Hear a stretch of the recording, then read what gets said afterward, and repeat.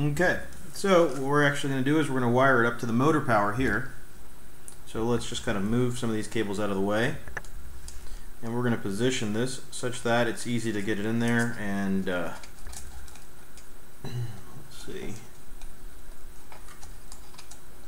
It's not going to get snagged on anything. So I'm just running this underneath the board. There we go. Now it's important you hook this up correctly.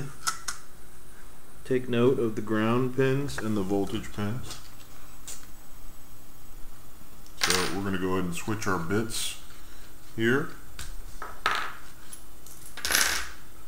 We're going to need a small flathead screwdriver. And you're just going to have to put it in there and just, you don't have to take the screw out all the way. Just take it out enough so that it's just kind of peeking out from the blue. Now the ground is the one over here and this is the voltage. So we're going to hook up the ground.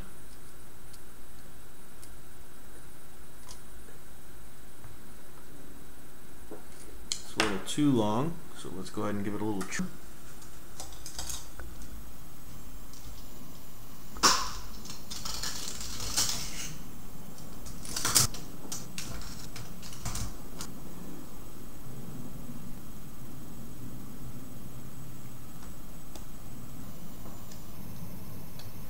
Now make sure when you wire this up that you have the switch in the off position.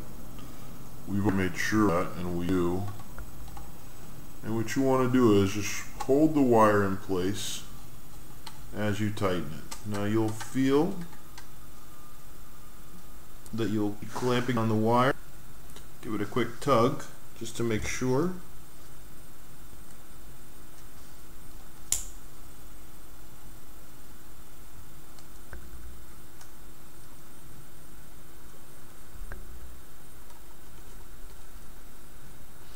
Made a boo that the actual power was up instead of down. But as you can see, there is power applied to the unit and it seems to be functional. Now, what we do here at this point is what is before wiring it up is start go ahead and plug this into the USB port on your computer and download the Arduino software. Make sure you can communicate with the board. Uh, but that looks good. Alright, so that's wired up. Now the next part will be to wire up the motors. Now what I'm going to be doing is, is I'm going to be wiring up the left together with the right. It's that simple. Nothing fancy. So let's start off with the right. I'm going to run these cables underneath the uh, board just like so. Now I, I said earlier that we'll be trimming these. I'm not going to trim them right yet, just yet. I'm first going to run these through. Okay, so what I'm going to do is these are here, one and motor two.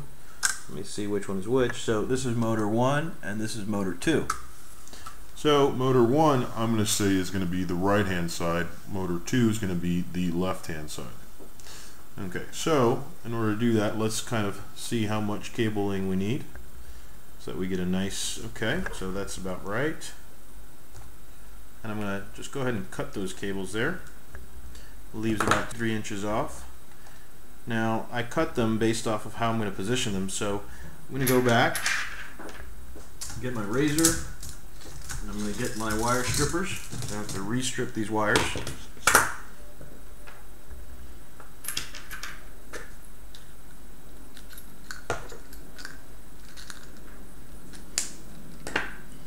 Okay.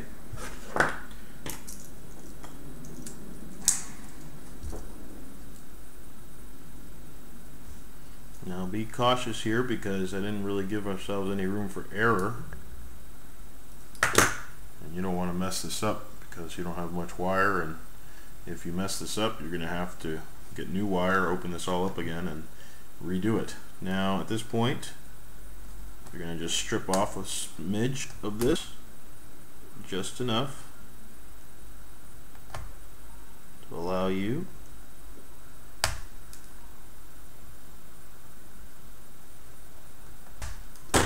Okay, so we've done the first one. Now let's do the second.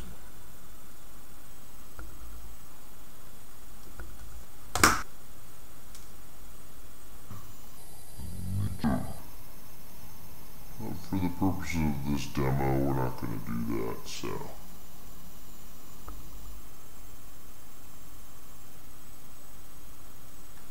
Now the reason why I'm doing motor 1, motor 2 like that, motor 1 being left, motor 2 being right, is because you need to be able to, you, you want to be able to turn the unit. If I, if I just do this one and this one, well, this is motor 1, motor 2, I'm only able to go backwards and forwards. That's not going to work for us, you know, so we need to do it right. The other part is, is that we need to make sure that they're wired correctly. So let's go ahead and set that up. You want to make sure that black is with black and red is with red. So your ground with ground and your your your voltage with voltage, and that's going to have to be wired into the actual unit.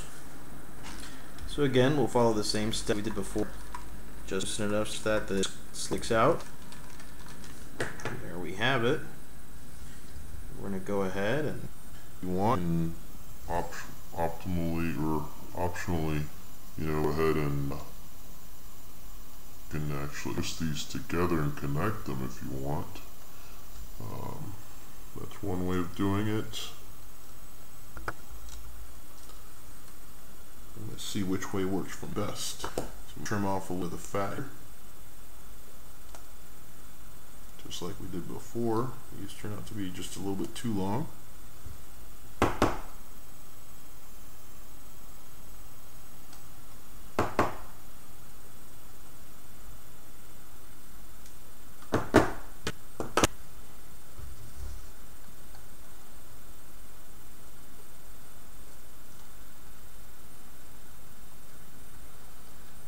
Now the wires that come with this kit have a black wire that has partially red.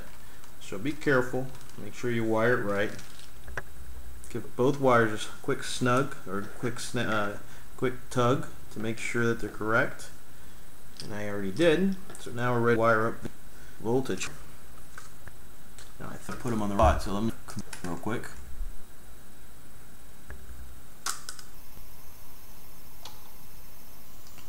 Let's see here.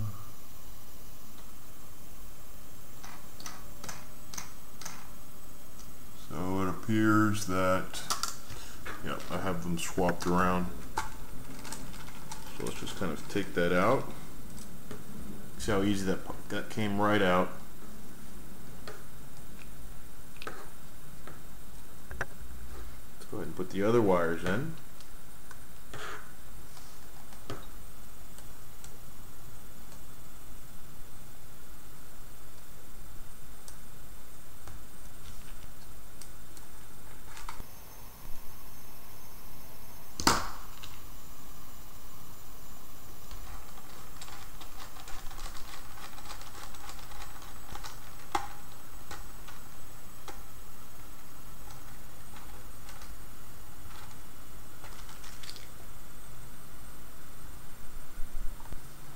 Okay, so that's it up. Now we're going to the left-hand side like we talked about.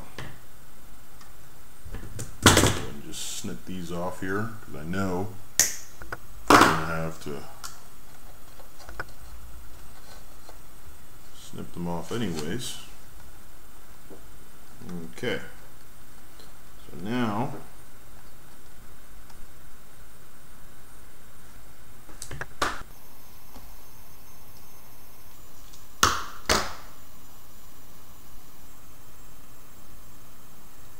Okay, let's go ahead and up these screws here. Strip these.